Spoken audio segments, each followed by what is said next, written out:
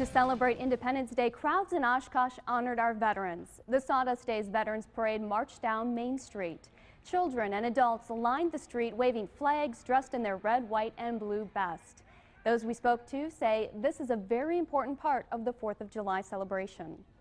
Those men gave much, and to remember them is only right, and their service is the reason we're able to stand here today because they like gave up our lives not for like just any random person but like for all of us. Sawdust Days continues through the weekend at Oshkosh's Memorial Park. Now, before the parade in Oshkosh, people gathered to celebrate a 237-year-old tradition on the steps of the Winnebago County Courthouse. Fox 11's Alex Rinaldo was there for the Independence Day tradition.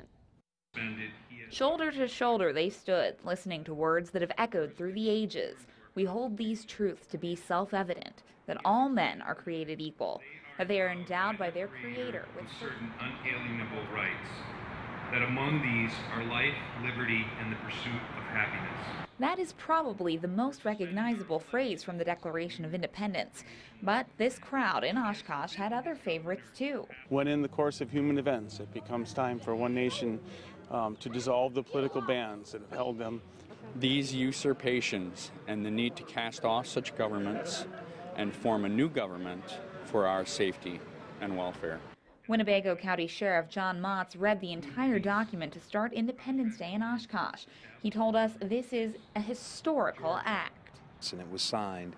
One of the ways of getting the word out to the colonies and the people in the colonies was to have the sheriff read the Declaration of Independence on the courthouse steps which the crowd that gathered appreciated. It's terrific. I think a lot of people in this country have never read it and certainly have never had it read to them. Matz said it's an honor to read because those who drafted and signed the document made huge sacrifices. Those that signed it or had anything to do with it signed their own death warrant.